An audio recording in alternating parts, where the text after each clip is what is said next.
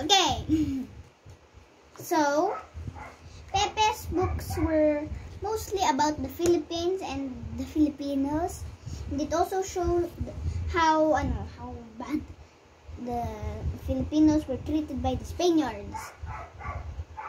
Thus, the Spaniards became mad at Pepe for ano, writing about the truth. Even Lolay got mad at him while he read the Philly passage.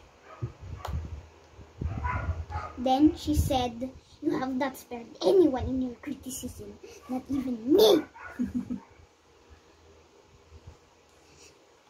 and even though they were rich and they were also well known, they were not safe from injustices.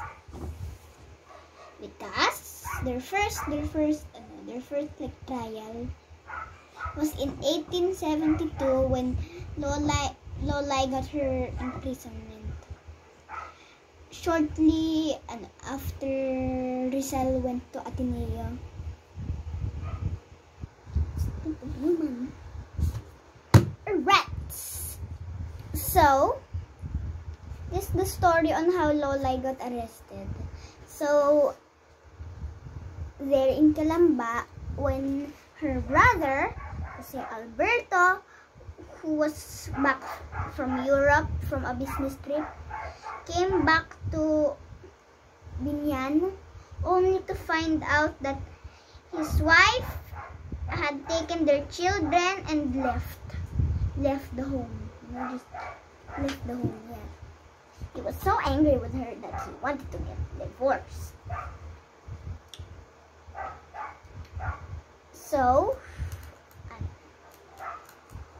Lolay want, was wanting to convince the the husband and the wife to get back together but the woman well the wife of let's just call her Mrs. Jose or Mrs. Alberto just Mrs. Jose na lang you know Mrs. Alberto okay that's good so but Mrs. Alberto did not like this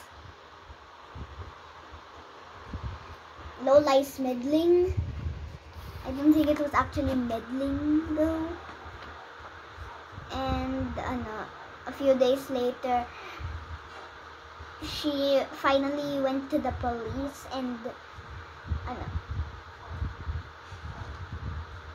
reported that Lola had tried to poison her with her husband. That her husband and Lola wanted was trying to poison her and Lolay was arrested in Calamba and was made to walk in Santa in the to the jail of Santa Cruz. I think that's I think that's very far. I don't know. and ano, poor old lady. But and well yeah and hmm. Ano pa ba? Well, it's kind of it. It bulaga. okay, I didn't know what inside, but it's creepy. Okay, but uh, yeah. So let's continue.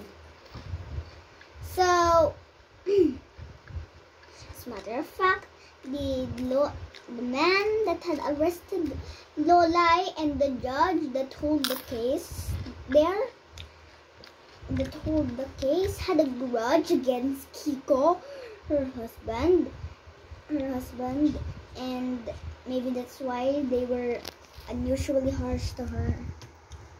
But um yeah. So then the results had to like uh, pay a lot for for Lolay to get out of prison.